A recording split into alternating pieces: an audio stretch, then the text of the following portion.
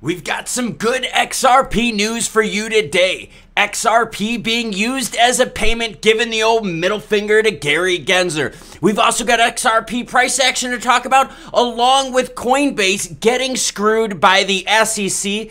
But wait until I show you what Coinbase did that should make you really pissed at the SEC. And yes, I've been shopping. We got a lot of XRP price talk to get to with some good XRP news. But right now, what do you notice? XRP green amongst a sea of red, sitting at 47.3 up 2%, defying the rest of the market with ETH down 0.8 and Bitcoin now trading sideways. Let's get into that news right away. And what do we got? XRP can now be used to buy workout and dietary supplements via Xumm Wallet. So, yes, some people buy cards for speculative reasons, others buy them for fan appreciation stuff, right? You dig the player. But check this out. Again, can you use your security like a stock? To pay for fitness related stuff? DBeastCo, a US based nutrition e commerce store and wellness brand, has incorporated Xumm payments into its platform. This new integration will enable customers to purchase various workout and dietary supplements with assets on the XRP ledger, including XRP. Here's that tweet from them. And as always, any article you see in this video, along with my Twitter information, is linked in the description below. You can now use your Xumm wallet to pay for workout supplements at DBeastCo. Now, I'm telling you this. I did a story about six months ago and again about 18 months ago. Yes, that long ago. We've been doing it this long on this channel where I said, hey, when you start accepting crypto as payments, you will bring in a whole new customer base. Totally true because you know what? You're going to have a lot of XRP fans are like, you know what? We use this for payment. We don't mind doing this. And by the way, using anything from XRPL, juicy, juicy. Coinbase getting screwed by the SEC. Relist XRP demand over Coinbase stance. Here's the thing. Coinbase is not going to relist XRP until we get full regulatory clarity in the United States.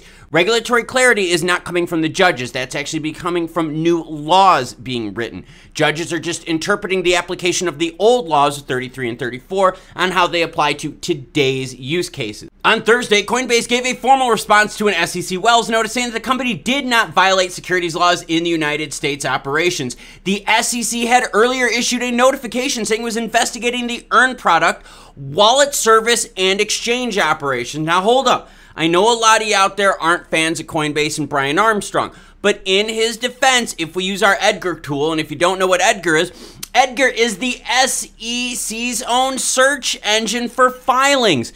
Coinbase has been filing with the SEC. Check it out. I've got it right here. Since November 2nd of 2018.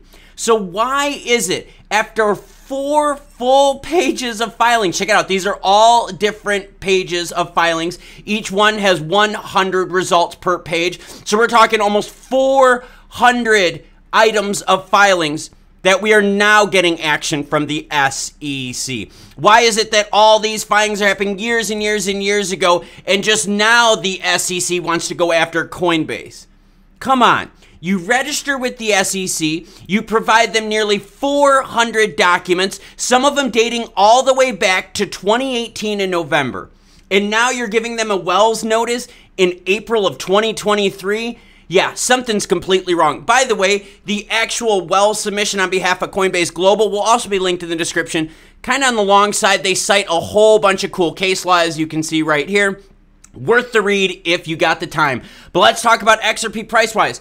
I'm happy. I'm optimistic, but there is something I'm cautious about. I'm going to share with you here coming up. All right, so XRP price action. We're moving on up, but what do you see right away? You see these three candlesticks right here, all lining up to a fairly similar resistance point, right around that 48 cent mark. The first two here, 48.2. Now this one on today, 48. Now, obviously, we're not done with today. So if we hit 48.2, that would make complete sense. Is yes, we would repeat the trifecta of resistance.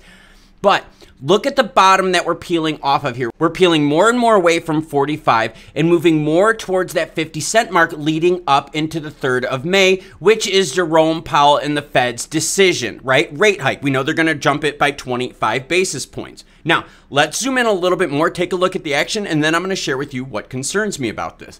If we zoom out, and take a little bit more granular approach to things, right? On the 30 minute interval in these candlesticks. You can see over the last week, we've definitely been range bound, right? You, I mean, you could see that obvious as day, right? We had some bad action here. We got through it. Now we've been fighting this range bound. I have a feeling we're going to fight range bound action until we get to the third. Now, what scares me though, and this is what I want to share with you, Look at the volume right now of these exchanges. I've got coin market cap up right now, and we've got cryptocurrency exchange volume.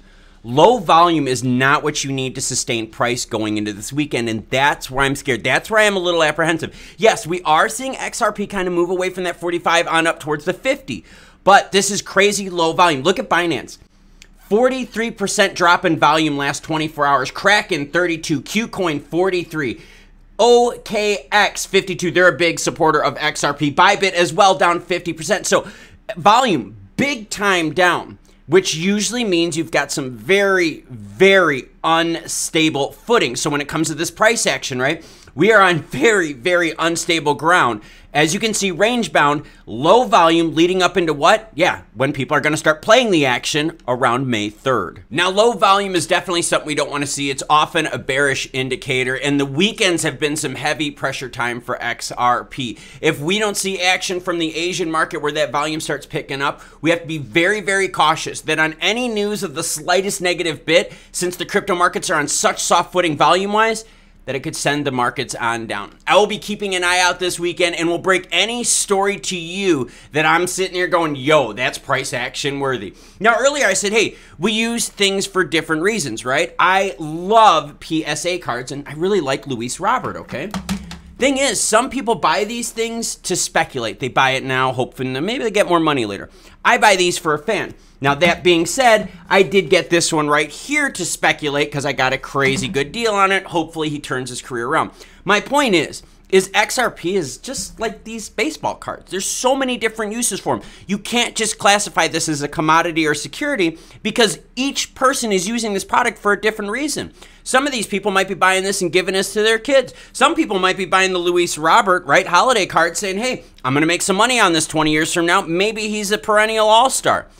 Either way, it's just like XRP. Some people use it for gas fees. Some people use it in order to pay for NFTs. Some people are going to be using it for fitness subs. Speaking of fitness subs, I've got a second channel where I'm detailing my fitness journey, getting ready for my Colorado mountain climbing season, which is just Yes, about six weeks away. You want to see that channel? That's this right here. You want crypto Web3 action that I broke earlier today that you need to see? That's this video right here. Now, until more news breaks, you know what I'm going to do. I'm going to keep checking out PSA cards, hanging out, scrubbing the net working out. You cool cats, have a great rest of your day.